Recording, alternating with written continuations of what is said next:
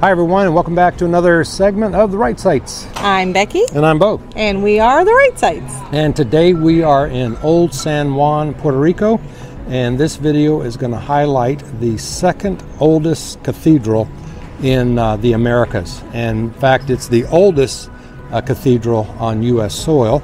It is the Old San Juan uh, Cathedral. Cathedral. Yep. So uh, it's uh, right behind us in the heart of Old San Juan.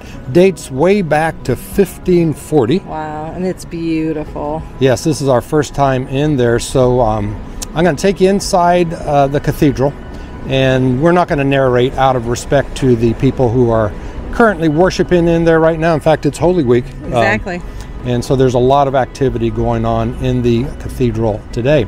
But I'm going to walk you through the um, building.